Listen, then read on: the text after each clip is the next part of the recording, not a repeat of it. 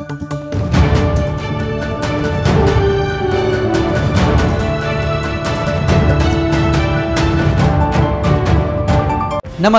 मी Gururaj. News अनकटच्या बातमीपत्रात आपलं स्वागत. बातमीपत्राला सुरुवात करण्याआधी नजर टाकूयात हेडलाईन्सवर भाजपाची विधानसभेची उमेदवारी यादी जाहीर विद्यमान एकोणनव्वद जणांना पुन्हा संधी. ज्योती मेटे यांचा शरद पवार गटात प्रवेश विधानसभा निवडणूक लढवण्याचा दिला प्रस्ताव. पहिल्या यादीत नाव आल्यानंतर आमदार शिवेंद्रराजे भोसलेंनी मानले जे पी नड्डा बावनकुळे आणि फडणवीसांचे आभार. आणि गाजावाजा करून उद्घाटन झालेल्या पुण्यातील मंडई मेट्रो स्थानकाला भीषण आग. आता पाहूयात बातम्या विस्ताराने. आगामी विधानसभा निवडणुकीच्या पार्श्वभूमीवर भाजपाकडून नव्याण्णव उमेदवारांची पहिली यादी प्रसिद्ध करण्यात आली आहे. येत्या वीस नोव्हेंबरला राज्यात विधानसभा निवडणुकीसाठी मतदान होत असून तेवीस नोव्हेंबरला विधानसभा निवडणुकीचा निकाल जाहीर होईल. या पार्श्वभूमीवर काल भाजपाची पहिली उमेदवारी प्रसिद्ध झाली आहे. यामध्ये विद्यमान एकोणनव्वद जणांना पुन्हा संधी देण्यात आली आहे. महात्मा फुले मंडई परिसरातील मेट्रो स्थानकात रविवारी मध्यरात्री आग लागल्याची घटना घडली आहे. या घटनेची माहिती मिळताच अग्निशामक दलाने घटनास्थळी दाखल होत आग विझवली. वेल्डिंगचे काम सुरू असताना आग लागल्याचा प्राथमिक अंदाज असून मध्यरात्री बाराच्या सुमारास ही आग लागल्याची माहिती मिळते. सव्वीस सप्टेंबर रोजी या मेट्रो स्थानकाचं उद्घाटन पंतप्रधान नरेंद्र मोदी यांच्या हस्ते पार पडलं होतं. शिवसंग्राम संघटनेचे नेते दिवंगत विनायक मेटे यांच्या पत्नी ज्योती मेटे यांनी काल राष्ट्रवादी काँग्रेस शरदचंद्र पवार पक्षात प्रवेश केलाय. पक्षाचे अध्यक्ष शरद पवार प्रदेशाध्यक्ष जयंत पाटील राष्ट्रीय कार्याध्यक्ष सुप्रिया सुळे यांच्या उपस्थितीत ज्योती मेटे यांना पक्षाचे प्राथमिक सदस्यत्व देऊन स्वागत करण्यात आले आहे. दरम्यान ज्योती मेटे यांच्या शरद पवार गटातील प्रवेशामुळे बीड जिल्ह्यातील राजकीय समीकरण बदलण्याची शक्यता आहे. भाजपाच्या पहिल्या यादीत नाव आल्यानंतर आमदार शिवेंद्रराजे भोसले यांनी जे पी नड्डा बावनकुळे आणि देवेंद्र फडणवीस यांचे आभार मानले असून गेल्या चार टर्ममध्ये केलेल्या कामांची पावती सातारकर देतील असा विश्वास त्यांनी माध्यमांशी बोलताना व्यक्त केलाय. यावेळी त्यांनी विरोधकांवर टीका करताना सत्तेत असताना कामे न केल्याचा आरोप केलाय. जाहीर झालेली आहे. काय सांगा त्याबद्दल? नाही मी भारतीय जनता पार्टीचे अध्यक्ष राष्ट्रीय मान्य जे पी नड्डा तसे आमचे राज्याचे अध्यक्ष मान्य बावनकुळे साहेब आणि आमचे नेते मान्य देवेंद्रजी फडणवीस यांचं मनापासून आभार मानतो की त्यांनी विश्वास ठेवला आणि आज पाचव्यांदा आता मला विधानसभेमध्ये निवडणूक लढवण्याची संधी ही भाजपच्या माध्यमातून आता मिळते आहे आणि नक्कीच या निवडणुकीतसुद्धा चांगल्या मताधिक्यानं मी विजयी होईन याबद्दल मला काही शंका नाही.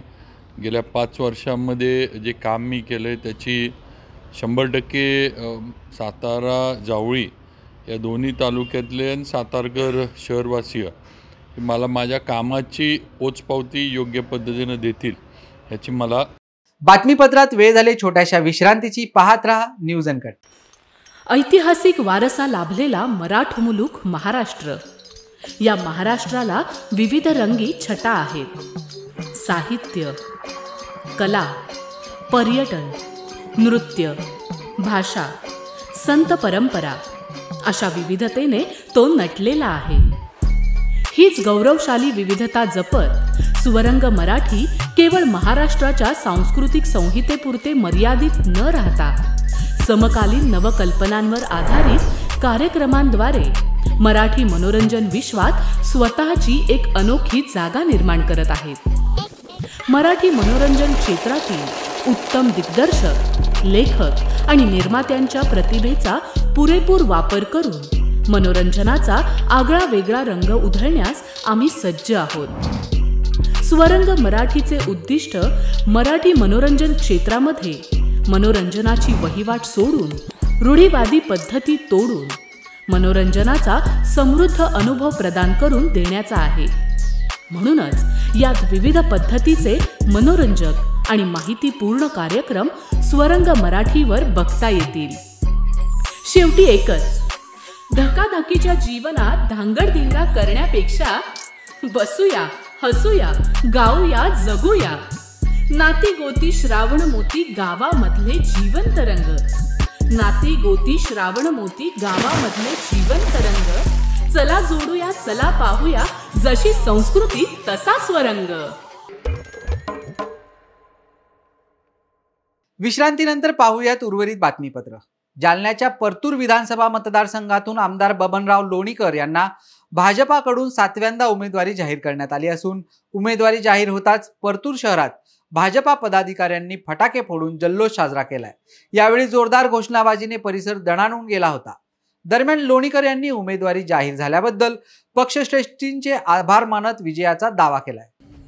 देशाचे लोकप्रिय प्रधानमंत्री माननीय नरेंद्रजी मोदी गृहमंत्री माननीय अमित शहाजी उपमुख्यमंत्री देवेंद्रजी फडणवीस भाजपचे प्रदेशाध्यक्ष चंद्रशेखरजी बावनकुळे यांनी मला सातव्यांदा विधानसभेची उमेदवारी दिलेली आहे. या मतदारसंघातल्या जनतेनं मला सातत्यानं निवडून दिलेलं आहे. मागच्या वेळी मला तीस हजार मताची लीड होती. कामाच्या मुद्द्यावर आज दोनशे गावात वॉटर ग्रीडचं पाणी आहे. सर्व गावं डांबरीकरणानं जोडलेली आहेत. गाव तिथं सिमेंट रोड गाव तिथं सभामंडप विकासाची कामं केली आणि जनतेत राहिलो. लोकांनी माझ्यावर विश्वास टाकलेला आहे. याही वेळाला मी तीस हजारपेक्षा जास्त मतानं निवडून येईल. पक्षाच्या सर्व मान्यवर नेत्यांचे मी मनापासून आभार मानतो की मला सातव्यांदा पक्षानं उमेदवारी दिलेली आहे. Republican Party of India Athawale गट विधानसभा स्वबळावर लढणार असल्याचे सुतोवाच महाराष्ट्र प्रदेशाध्यक्ष राजा सर्वदे यांनी साताऱ्यात माध्यमांशी बोलताना केलाय. आरपीआयने महायुतीकडे अठ्ठावन्न जागांची मागणी केली असून जागा न दिल्यास स्वबळावर विधानसभा निवडणूक लढणार असल्याचा दावा पश्चिम महाराष्ट्र प्रमुख पदाधिकारी बैठकीत घेण्यात आला असून राष्ट्रीय नेते रामदास आठवले यांच्यासोबत चर्चा करून पुढील दिशा ठरवणार असल्याचं सर्वदे यांनी स्पष्ट केलंय. ही रिपब्लिकन पार्टी ऑफ इंडियाच्या वतीने पश्चिम महाराष्ट्र कार्यकारिणीची बैठक. आज पक्षाचे पश्चिम महाराष्ट्राचे अध्यक्ष अशोक बापू गायकवाड यांच्या अध्यक्षतेखाली सातारा लेक व्ह्यू मध्ये घेण्यात आली या बैठकीला पश्चिम महाराष्ट्रातील पाच जिल्ह्यातील जिल्हाध्यक्ष त्यांचे सर्व पदाधिकारी आणि पश्चिम महाराष्ट्रातील राज्य कमिटीचे सर्व पदाधिकारी महिला आघाडी मातंग आघाडीचे प्रमुख या बैठकीला होते आणि या बैठकीमध्ये एक निर्णय झाला. की पंधराव्या विधानसभेच्या निवडणुकीमध्ये पश्चिम महाराष्ट्रातील अठ्ठावन्न जागा लढवण्याची भूमिका रिपब्लिकन पक्षाने आजच्या बैठकीमध्ये तशा पद्धतीचा ठराव केला. हा ठराव याच्या अगोदर तीस ऑगस्टच्या बैठकीमध्ये सुद्धा झालेला होता. परंतु त्या ठरावानंतर आजच्या बैठकीमध्ये महत्त्वाचा की रिपब्लिकन पक्षाने अठ्ठावन्न जागा पश्चिम महाराष्ट्राच्या लढवायच्या. त्यासोबत महाराष्ट्रातील इतर सहा डिव्हिजन आहेत. पश्चिम महाराष्ट्राला धरून सात डिव्हिजन आहेत. या सर्व डिव्हिजनच्या बैठकी घेऊन त्याच्या त्याच पद्धतीनं तिथं निवडणुका लढवण्याची भूमिका रिपब्लिकन पक्षाच्या माध्यमातून. पक्षाचे सात विभागाचे विभागीय अध्यक्ष आणि राज्य कार्यकारिणीच्या वतीनं राष्ट्रीय अध्यक्ष रामदासजी आठवले यांच्याकडे ही विनंती आम्ही करणार आहोत पंचवीस तारखेपर्यंत. छत्रपती संभाजीनगर पूर्व मतदारसंघातून भाजपाचे मंत्री अतुल सावे यांना पुन्हा एकदा संधी देण्यात आल्याने कार्यकर्त्यांनी ढोल ताशे वाजवत त्यांचा सत्कार केला. माझं काम बघून मला पुन्हा उमेदवारी देण्यात आली आहे. यावेळी मी हिंदू आमदार म्हणून निवडून येईन असं मत त्यांनी व्यक्त केलंय. काय पहिल्या भावना आहेत? मी मागच्या दहा वर्षात जे मला पक्षाचे आदेश आले त्या पद्धतीने विकास कामं करत गेलो. आणि जो विश्वास माझ्यावर देवेंद्रजी फडणवीस साहेब असतील सगळे पक्षाचे नेते असतील त्यांनी टाकला तो मी पूर्ण करायचा प्रयत्न केला. दहा वर्षात विकास कामामध्ये मान्य देवेंद्रजींचं पूर्ण सहकार्य मला लाभलं. आणि म्हणूनच मी विकास कामं करू शकलो.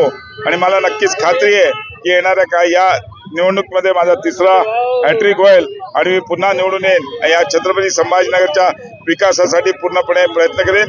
मी महायुतीच्या सर्व नेत्यांचे खूप खूप आभार मानतो. भारतीय जनता पार्टीच्या पहिल्या यादीत भुसावळचे विद्यमान आमदार संजय सावकारे यांचं नाव जाहीर झाल्याने त्यांच्या कार्यकर्त्यांनी आमदार सावकारे यांच्या कार्यालयासमोर फटाक्याची आतिषबाजी करून जल्लोष साजरा केलाय. जनता यावेळीही मला साथ देईल अशी आशा सावकारेंनी व्यक्त केली आहे. सर्वात आधी माझ्या पक्षाचा आभार व्यक्त करेल त्यांना माझ्या पक्षाच्या सगळ्याच नेतेमंडळींना मी धन्यवाद देईल की त्यांनी पुन्हा एकदा माझ्यावर विश्वास दाखवला आणि मला भाजपतर्फे तिसऱ्यांदा उमेदवारी दिली. चौथ्यांदा मी विधानसभेची निवडणूक लढवेल. परंतु भाजपने मला तिसऱ्यांदा माझ्यावर विश्वास दाखवून उमेदवारी दिली. त्याबद्दल मी पक्षाचा खूप खूप आभारी आहे. आणि पक्षाने जो विश्वास माझ्यावर दाखवलेला आहे तो परिपूर्ण करून जास्तीत जास्त मतांनी ही सीट निवडून आणण्यासाठी आणि पक्षाला मदत करण्यासाठी मी प्रयत्न करेल.